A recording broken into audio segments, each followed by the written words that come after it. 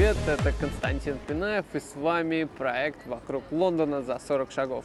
У Уиллиса Фога было 80 дней, и он проехал вокруг света, а мое пари – это описать Лондон во всем его многообразии за 40 шагов. Каждый шаг – это клеточка настольной игры «Монополия». Улицы, вокзалы, люди, магазинчики, явления, события, истории – все то, что делает Лондон самым интересным городом на свете.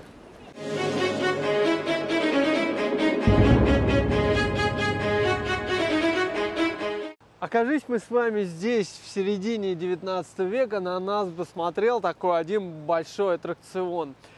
Он назывался «Монстра Глобус», и это был проект господина Уайлда. Господин Уайлд это был придворный картограф королевы Виктории, и по случаю Великой выставки, которая, собственно, стала центром инноваций на весь мир, господин Уайлд предложил сделать такую вещь. Давай, говорит, сделаем большой-большой глобус, на котором будут страны, реки, моря. Внутри этого глобуса можно будет ходить.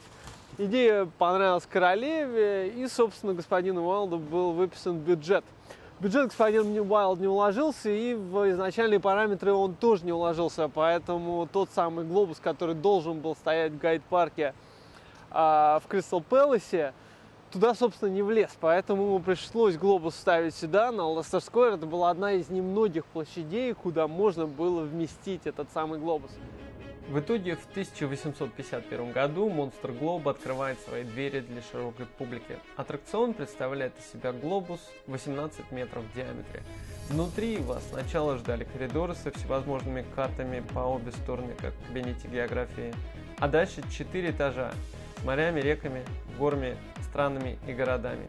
А теперь попробуйте представить себя на месте лондонца в середине 19 века.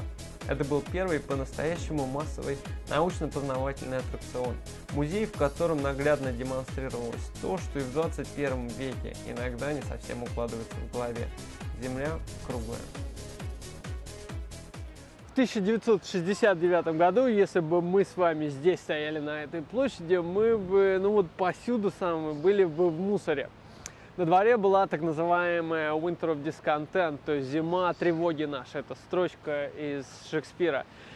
В 69 году бастовала практически вся Британия, начиная от могильщиков в Ливерпуле и заканчивая мусорщиками в Лондоне. Буквально на каждом шагу вас ждал мешок с мусором, а то и просто мусор без мешка. Собственно, в, это, а, в эту зиму к власти приходит Маргарет Тэтчер, и в следующие 13 лет она через колено ломает профсоюзы, те самые профсоюзы, которые бастовали. Своими действиями Тэтчер раскалывает Британию на две части.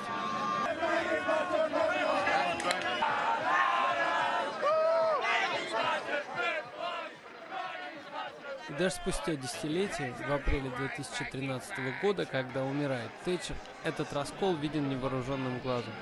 Сначала на Трафальгарской площади собирается многотысячная толпа, чтобы отпраздновать смерть бывшего премьер-министра.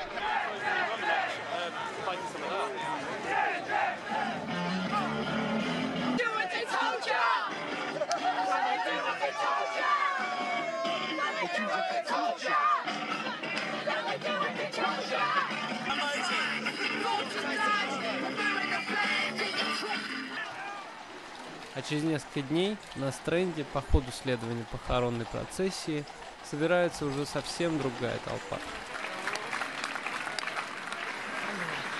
Когда Маргарет Тэтчер пришла к власти, 26 миллионов человека дней уходило в год на забастовки. Когда Маргарет Тэтчер уходила, таких миллионов дней было всего 2, а не 26. На сегодня все. До новых серий, новых встреч и новых прогулок по улицам лондонской монополии. Про лайки забыл. Лайки ставьте.